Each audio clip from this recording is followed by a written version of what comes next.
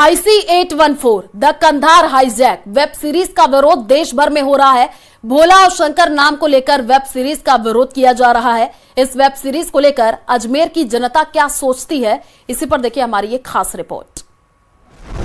कंधार कांड एक कलंक कथा। वेब सीरीज़ का प्रदेश में विरोध। आतंकियों के नाम, भोला शंकर क्यों? 25 साल बाद फिर ज़िंदा हुआ आईसी 814 साल 1999 जब देश में आईसी 814 कांड का भूचाल आया था, और आज एक बार फिर नेटफ्लिक्स ने उसे ज़िंदा कर दिया। नेटफ्लिक्स की वेब सीरीज़ आईसी 814 विवादों में है। 25 साल पुरानी घटना पर बन रही वेब सीरीज़ ने लोगों के दिलों में उस दिन को ताज़ा कर दिया, जब चारों तरफ़ कंधार की घटना का ज़िक्र हो रहा था और आतंकियों को रिलीज़ किया जा रहा था।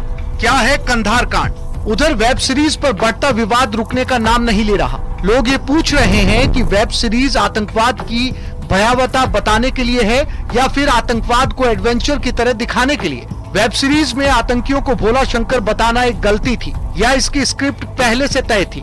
वेब सीरीज़ की स्क्रिप्ट का असली मकसद 1999 के हाईजैक कांड को दिखाना था, या पाकिस्तान को क्लीन चिट देना। इन सवालों को वेब सीरीज़ के डायरेक्टर अनुभव सिन्हा के व्यवहार और नसीरुद्दीन के बयान ने मज़बूत किया है।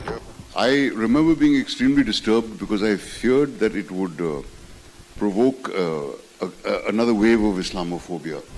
वही वेब सीरीज़ का प्रदेश में भी विरोध हो रहा है। वेब सीरीज़ को लेकर न्यूज़ 18 ने लोगों से बातचीत की। लोगों का कहना है कि फ़िल्म अगर सच्ची घटना पर आधारित है तो उसमें सच्चाई होनी चाहिए। अजमेर के लोग इस फ़िल्म को लेकर क्या सोचते हैं?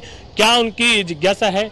फ़िल्म आ रही है 1999 में जो हाईजेक हुआ था, उसमें किस तरह की घटना घटी थी, उसको लेकर जो है चर्चा होने जा रही है। और पहले भी अजमेर में, अजमेर की 1992 को लेकर फ़िल्म बनी थी, वेब सीरीज़ बनी थी, इसी प्रकार से अलग अलग घटनाओं को लेकर वेब सीरीज़ बनती है। और जो ये कंदार फ़िल्म आई सी वन आ रही है, इसके अंदर भी हम देखें तो इसके अंदर वास्तविक चीज़ों को दर्शाया जाना चाहिए, इसमें कई पात्रों के नामों को बदलने का काम किया गया है, उससे लोगों में भ्रम पैदा हो रहा है। कई पिक्चरों के अंदर पात्र के नाम भोला और शंकर किए गए और उनके अंदर नकारात्मक जो जो पात्र है वो उनका काम है और उनका नाम जो है ऐसे भगवानों के नाम से रखा गया है जिनको लोग श्रद्धा का पात्र मानते हैं। ये सबसे पहली बात तो ये सत्य घटना पर आधारित है। अगर सत्य घटना पर आधारित है तो अपराधियों के नाम छुपाने में क्या हर्ज है? को उन्होंने कोई बहुत अच्छा काम तो किया नहीं है कोई ऐसा कुछ काम तो है नहीं कि जिससे कि उसका नाम छिपाया जाए? अगर सही नाम यूज़ किया जाएगा तो उससे पता पड़ेगा कि हाँ इनकी क्या मानसिक प्रवृत्ति थी। कंधार जो मूवी आ रही है वेब सीरीज़ जो आ रही है, ये जो कंधार मूवी जो विमान हैजे को था, ये एक उस दिन के हिंदुस्तान को दिल दिलाने वाली घटना थी और इस घटना के सभी ने निंदा की थी। और जो आतंकवाद होता है, उसका कोई धर्म नहीं होता है।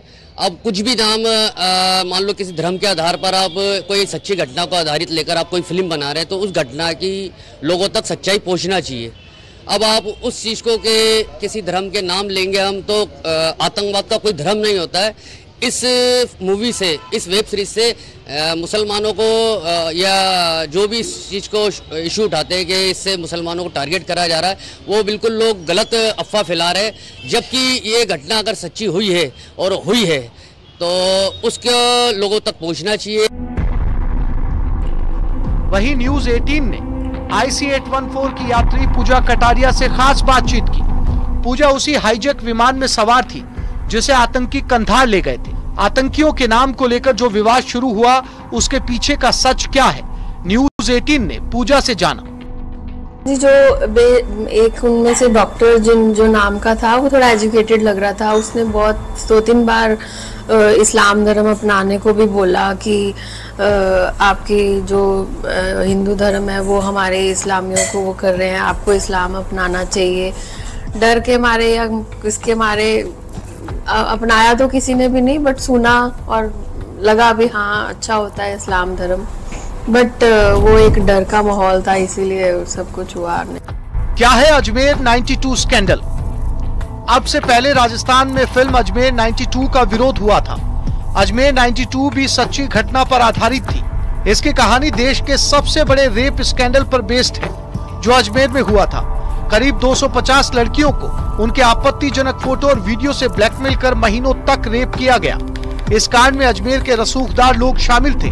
जब उन्नीस सौ बानवे में इसका खुलासा हुआ तो पूरा देश सन्न रह गया। Bureau report news 18 Rajasthan.